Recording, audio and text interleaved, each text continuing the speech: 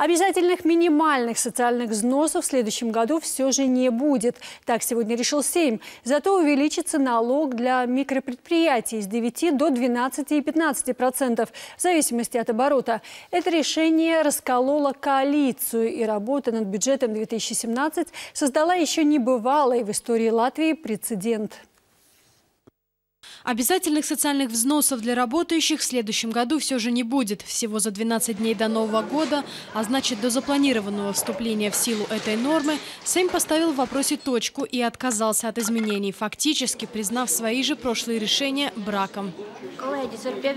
Я могу только присоединиться к словам своей коллеги Солвиты Абултани, которую она произнесла на прошлом заседании, и извиниться за наш общий брак. Брак с большой буквы. Ну, viņai tā patīk? Но почему госпоже Винтиле так нравится приватизировать достижения и делить всю эту кашу, которую тут заварили? Пусть она сама берет и расхлебывает эту кашу, как коалиция, а не говорит, что оппозиция виновата в том, что сделала коалиция.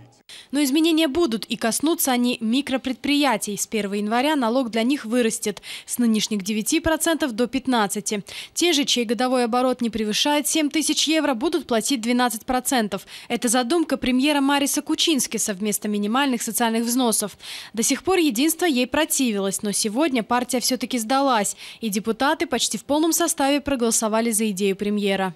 Мы пытались э, ну, свои предложения дать такие, чтобы был компромисс по поводу микроналогов, э, чтобы те предприниматели, которые знали уже от чтения года, что будет э, изменение по поводу 5% микроналог и минимальные социальные платежи, Сейчас они в шоке, я думаю, потому что это происходит последние дни только. По словам главы фракции «Единство Солвиты Аболтоня», они решили не расшатывать и без того не очень стабильную коалицию. Отметим, что и без единства голосов премьеру хватило бы. С самого начала на его стороне было согласие.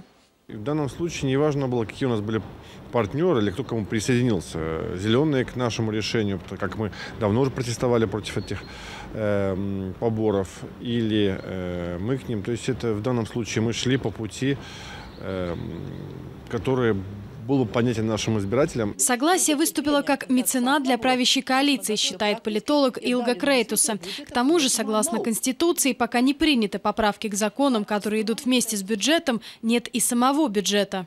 По Конституции предназначается, если бюджет не принят, правительство уходит в отставку. В принципе, правительство должно было уйти, поскольку бюджета на данный период до того, до этого голосования, полного бюджета Латвии не было. И поэтому такая ситуация э, Впервые это определенный прецедент. Решение принято, но ненадолго. До лета правительство должно решить, что дальше делать с микропредприятиями и минимальными социальными взносами. Надеется решить все без спешки. Анастасия Дьякнова, Валтер Зелч, Латвийское телевидение.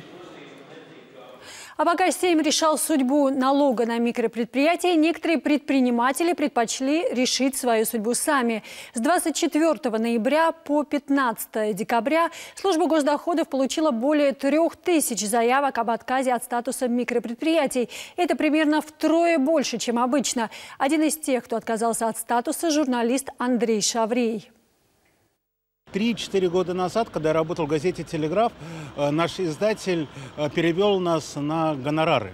То есть там не было ни социальных, ничего. Буквально через пару месяцев я нашел э, другую работу, где мне платят социалку. Вот за эту осень у меня нулевые доходы микропредприятия. Я еще должен, подумал, платить эти социальные. За что? Пошел, закрыл.